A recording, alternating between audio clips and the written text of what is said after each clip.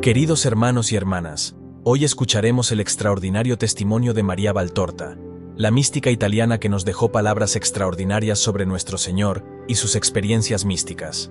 Escuchemos sus palabras que describen su experiencia del paraíso, una detallada descripción que revela exactamente cómo podría ser el paraíso. He vuelto a ver el paraíso y he comprendido de qué está hecha su belleza, su naturaleza, su luz, su canto, todo, en resumen. También sus obras, que son las que, desde tan alto, informan, regulan, proveen a todo el universo creado. Pero vayamos por orden. Incluso los ojos del Espíritu, aunque mucho más aptos para sostener la luz que los pobres ojos del cuerpo que no pueden mirar al sol, astro similar a una llama de humeante luciérnaga en comparación con la luz que es Dios necesitan acostumbrarse gradualmente a la contemplación de esta alta belleza. Dios es tan bueno que, aunque quiera revelarse en sus fulgores, no olvida que somos pobres espíritus aún prisioneros en una carne y por lo tanto debilitados por esta prisión. Oh, qué bellos, brillantes, danzantes son los espíritus que Dios crea en cada momento para ser alma de las nuevas criaturas. Los he visto y lo sé, pero nosotros, hasta que no volvamos a Él, no podemos soportar todo el esplendor de una vez. Y Él, en su bondad, nos acerca gradualmente a ello. En primer lugar, entonces, anoche vi algo así como una inmensa rosa. Digo rosa para dar la idea de estos círculos de luz jubilosa que cada vez se centraban más alrededor de un punto de un fulgor insostenible, una rosa sin límites. Su luz era la que recibía del Espíritu Santo, la luz espléndida del amor eterno. Topacio y oro líquido convertidos en llama. Oh, no sé cómo explicarlo. Él irradiaba, alto, alto y solo, fijo en el zafiro inmaculado y espléndido del empirio, y de él fluía sin cesar la luz, la luz que penetraba en la rosa de los bienaventurados y de los coros angelicales, y los hacía luminosos con esa luz que es sólo el producto de la luz del amor que la penetra. Pero no distinguí santos ni ángeles, Solo veía los inmensos festones de los círculos de la flor paradisíaca.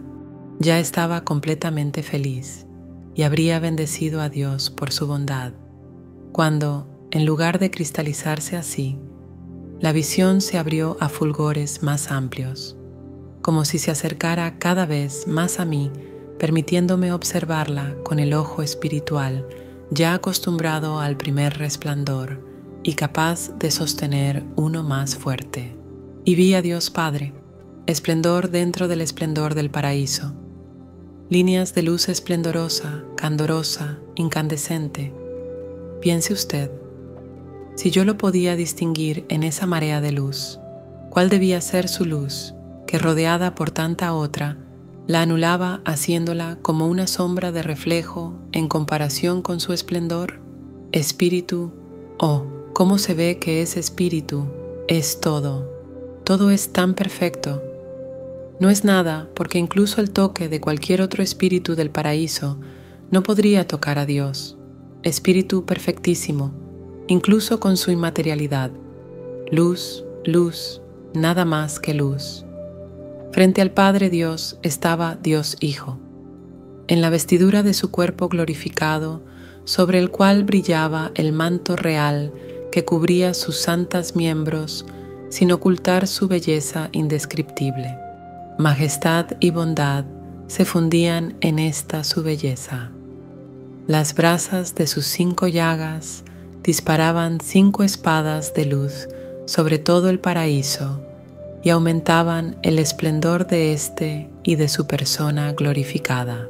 No tenía halo ni corona de ningún tipo pero todo su cuerpo emanaba luz, esa luz especial de los cuerpos espiritualizados que en él y en la madre es intensísima y emana de la carne que es carne, pero no es opaca como la nuestra, carne que es luz. Esta luz se condensa aún más alrededor de su cabeza, no en forma de halo, repito, sino en toda su cabeza. La sonrisa era luz y la mirada también.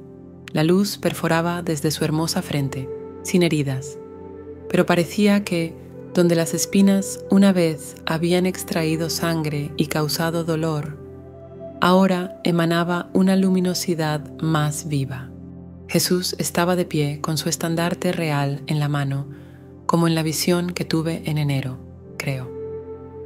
Un poco más abajo que él, pero apenas lo que puede ser un simple escalón de escalera, estaba la Virgen, hermosa como lo es en el cielo, es decir, con su perfecta belleza humana glorificada a belleza celestial.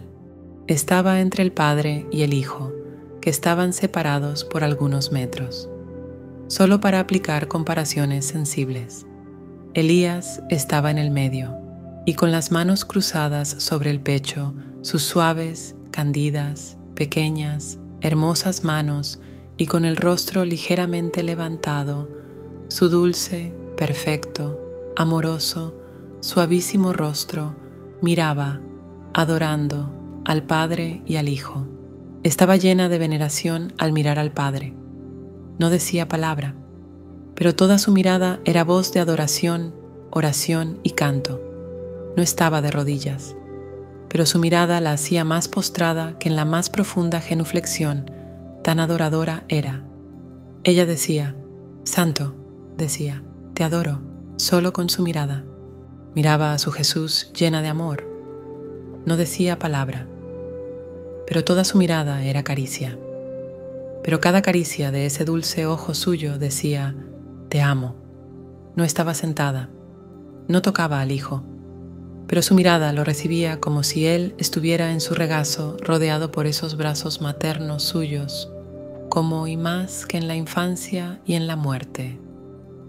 Ella decía, Hijo mío, mi alegría, mi amor, solo con su mirada, se deleitaba en mirar al Padre y al Hijo y de vez en cuando levantaba aún más el rostro y la mirada buscando el amor que brillaba alto, perpendicular sobre ella.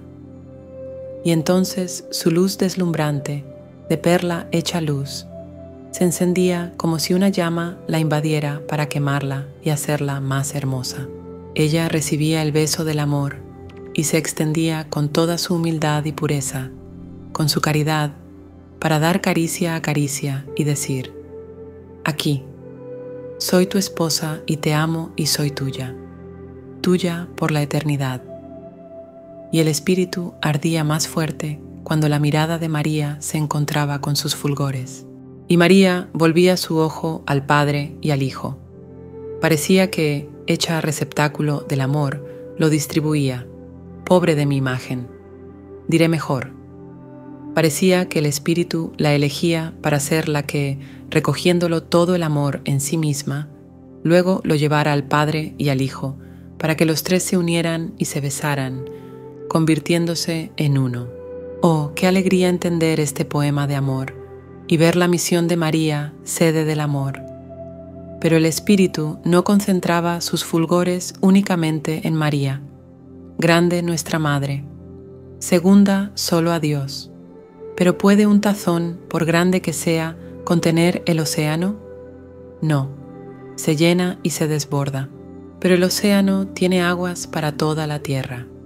Así es la luz del amor. Y descendía en perpetua caricia sobre el Padre y el Hijo, los envolvía en un anillo de resplandor, y se extendía aún más, después de haberse beatificado con el contacto del Padre y del Hijo que respondían con amor al amor, y se extendía sobre todo el paraíso. Aquí es donde se revelaba en sus detalles. Aquí están los ángeles, más arriba que los bienaventurados, círculos alrededor del pivote del cielo, que es Dios uno y trino, con la gema virginal de María por corazón. tienen una semejanza más viva con Dios Padre. Espíritus perfectos y eternos son trazos de luz, inferior únicamente a la de Dios Padre, de una forma de belleza indescriptible. Adoran, desprenden armonías. ¿Con qué? No lo sé, tal vez con el palpitar de su amor, porque no son palabras, y las líneas de sus bocas no afectan su luminosidad. Brillan como aguas inmóviles golpeadas por un sol vivo. Pero su amor es canto, y es una armonía tan sublime que solo una gracia de Dios puede conceder escucharla sin morir de alegría. Más abajo, los bienaventurados. Estos, en sus aspectos espiritualizados, tienen más semejanza con el Hijo y con María. Son más compactos, diría que visibles al ojo y hacen impresión al tacto, que los ángeles, pero aún así son inmateriales. Sin embargo, en ellos los rasgos físicos están más marcados, que difieren unos de otros. Por lo tanto, entiendo si uno es adulto o niño, hombre o mujer. Ancianos, en el sentido de decrepitud, no veo ninguno. Parece que incluso cuando los cuerpos espiritualizados pertenecen a alguien que murió en la vejez, allá arriba cesan los signos de la decadencia de nuestra carne. Hay una mayor imponencia en un anciano que en un joven pero no esa tristeza de arrugas, calvicie, bocas desdentadas y espaldas encorvadas propias de los humanos. Parece que la edad máxima es de 40-45 años, es decir, virilidad floreciente, aunque la mirada y la apariencia sean de dignidad patriarcal. Entre muchos, oh, cuánta gente de santos y cuánta gente de ángeles los círculos se pierden, convirtiéndose en estelas de luz para los azules esplendores de una vastedad sin límites. Y desde lejos, desde este horizonte celeste, aún llega el sonido del sublime aleluya, y tiembla la luz que es el amor de este ejército de ángeles y bienaventurados. Entre los muchos veo, esta vez, un espíritu imponente, alto, severo y sin embargo bueno, con una larga barba que desciende hasta la mitad del pecho y con tablas en las manos. Las tablas parecen aquellas enceradas que usaban los antiguos para escribir. Se apoya con la mano izquierda en ellas, que sostiene, a su vez, apoyadas en la rodilla izquierda. ¿Quién es? No lo sé. Pienso en Moisés o en Isaías. No sé por qué, Solo lo pienso. Me mira y sonríe con mucha dignidad. Nada más, pero qué ojos, realmente hechos para dominar a las multitudes y penetrar los secretos de Dios. Mi espíritu se hace cada vez más capaz de ver en la luz. Y veo que en cada fusión de las tres personas, una fusión que se repite con un ritmo urgente e incesante, como un aguijón de hambre insaciable de amor, se producen los continuos milagros que son las obras de Dios. Veo que el Padre, por amor al Hijo, al cual desea dar un número cada vez mayor de seguidores, crea las almas. Qué hermoso. Salen como chispas, como pétalos de luz, como gemas globulares, como no soy capaz de describir, del Padre es una emanación incesante de nuevas almas, hermosas, alegres de descender para investir un cuerpo por obediencia a su autor. Qué hermosas son cuando salen de Dios. No veo, no puedo ver siendo yo del paraíso, cuando la mancha original las ensucia. El Hijo, por celo por su Padre, recibe y juzga, sin descanso, a aquellos que, terminada la vida, regresan al origen para ser juzgados. No veo a estos espíritus. Comprendo si son juzgados con alegría, con misericordia o con implacabilidad por los cambios en la expresión de Jesús. Qué resplandor de sonrisa cuando se presenta ante él un santo. Qué luz de triste misericordia cuando debe separarse de aquel que debe purificarse antes de entrar en el reino. Qué destello de enfado ofendido y doloroso cuando debe repudiar eternamente a un rebelde. Es aquí donde comprendo lo que es el paraíso y de qué está hecha su belleza, naturaleza, luz y canto. Está hecha del amor. El paraíso es amor. Es el amor que lo crea todo es el amor la base sobre la que todo se asienta. Es el amor el pináculo del cual todo procede. El Padre obra por amor. El Hijo juzga por amor. María vive por amor. Los ángeles cantan por amor. Los bienaventurados alaban por amor. Las almas se forman por amor. La luz existe porque es amor. El canto existe porque es amor. La vida existe porque es amor. Oh, amor, amor, amor. Me anulo en ti, resurjo en ti. Muero como criatura humana porque tú me consumes. Nace como criatura espiritual porque tú me creas. Bendito seas, bendito, bendito, amor, tercera persona. Bendito seas, bendito, bendito, amor, que eres amor de las dos primeras. Bendito seas, bendito, bendito, amor, que amas a los dos que te preceden. Bendito seas tú, que me amas. Bendito seas por mí, que te amo porque me permites amarte y conocerte, oh mi luz. Hermanos y hermanas queridos, reflexionemos sobre este testimonio extraordinario de María Valtorta. Por favor, comparten sus pensamientos en los comentarios y no se olviden de suscribirse al canal para no perderse los nuevos videos y unirse a nuestra comunidad de fe y oración. Que Dios bendiga a todos nosotros.